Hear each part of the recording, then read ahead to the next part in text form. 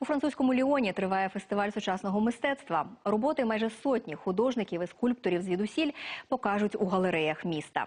Мистецтво в політиці чи політика в мистецтві. Сучасні митці шукають натхнення в тому, що їх оточує. Так пояснюють художники домінування політичної тематики у своїх роботах. Ще одна популярна ідея це фантастика. Таких сюжетів також багато на Ліонському бієналі.